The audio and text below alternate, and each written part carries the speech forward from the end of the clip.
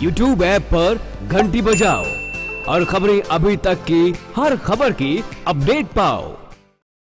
खबर पंचकुला से, जहाँ पर पार्षदों और नगर निगम मेयर के पाँच साल का कार्यकाल समाप्त होने के आखिरी दिन आज सेक्टर 15 में कम्युनिटी सेंटर का शिलान्यास कर पंचकुला के विधायक ज्ञानचंद गुप्ता ने सेक्टर वासियों को सौगात दी है। बता दें कि लंबे अरसे से स्थानीय लोग कम्युनिटी सेंटर की मांग कर रहे थे और इस कम्युनिटी सेंटर से लोगों में काफ़ी खुशी है। बता दें कि भवन पंद्रह महीने में बनकर तैयार होगा और इससे अब लोगों को कार्यक्रमों के आयोजन के लिए मोटी रकम नहीं चुकानी पड़ेगी और न कहीं दूर जाना पड़ेगा। देखिए ये सेक्टर पंद्रह के लोगों की बहुत पुरानी मांग भी थी ज़रूरत भी थी। यहाँ कम्युनिटी सेंटर जो छोटा बना हुआ था लगभग तीस साल पहले बना था उस कम्युनिटी सेंटर उस समय के अनुसार तो ठीक था लेकिन आज इस प्रकार की ज़रूरत है उस ज़रूरत को मद्देनजर रखते हुए लगभग तीन करोड़ साढ़े तीन करोड़ रुपए की लागत से ये कम्युनिटी सेंटर बनने जा रहा है।